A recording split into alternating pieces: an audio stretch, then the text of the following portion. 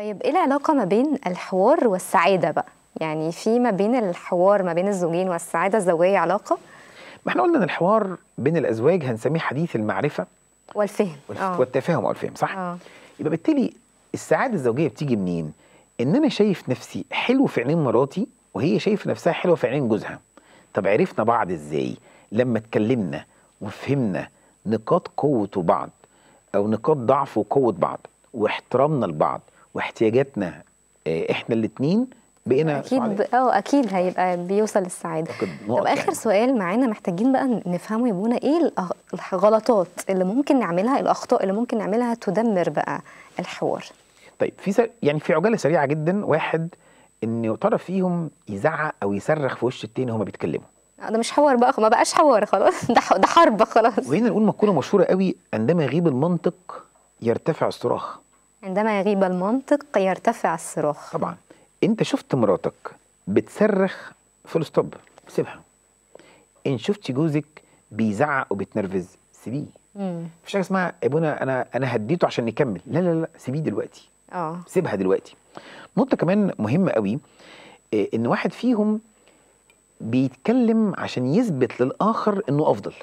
يعني إيه؟ عايز يثبت لها انه متربي أفضل إنه متعلم أفضل آه. إنه أنجح. إنه أكثر جاذبية للناس. لا ده مش ده مش حوار دي أخطاء.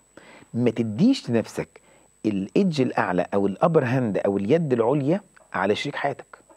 بالمناسبة يعني أنت كزوج ما تسمحش بكسرة مراتك قدامك. حقيقي. أنا آسف يعني دي مش رجولة. مش رجولة فعلا. صح. الراجل يحتوي يحب يحافظ عليها مش يبين إن هو أفضل منها. حقيقي. نقطة كمان تالتة مهمة قوي بلاش كلمة أنا وأنتي. خلينا دايما إحنا قلنا قبل كده اتكلم اسكندراني. فحط نون ألف إحنا مصلحتنا حياتنا. وهكذا. آه. التعقب. هي صرخت وسابت الأوضة ومشيت. ما تجريش وراها عشان نكمل الكلام. آه سيبها. هو اتنرفز فعايز يسيب البيت وينزل دلوقتي. سيبيه. آه. توقفيش على الباب؟ لا مش هسيبك تنزل انت في الحالة دي. آه. سيبيه. سيبيه ينزل في الحالة دي. لازم لازم. عشان يهدى وهي تهدى. مش آه. هينفع مش آه. هينفع نتكلم وإحنا الاتنين منفعين على بعض. حقيقي. نقطة كمان مهمة قوي. اوعوا حد فيكم يتريق على التاني. مم. واحد فيكم يحتقر التاني.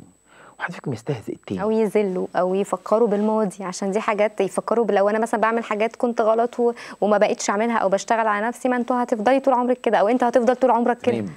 دي, دي بقى اللي بنتكلم عنها فكرة إيه؟ بلاش تحتفظ بكشكول الذكريات والأخطاء بتاع شريك حياتك في إيدك. خالص. لو سمحت الكشكول ده احرص إنك تحرقه أول بأول. وزي ما بتعمل في شريك حياتك هيتعمل فيك. اغفر لنا ذنوبنا كما آه، نغفر. نحن أيضا. اذا اذكر لنا خطايانا كما نذكر نحن أيضا. دي زي دي. حقيقي حقيقي. آخر نقطة عايز أقول عليها.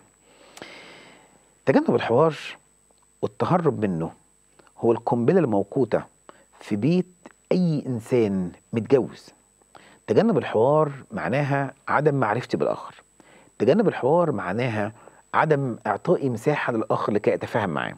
تجنب الحوار معناها إن الآخر مش مهم بالنسبة لي فأنا مش عايز أتكلم معاه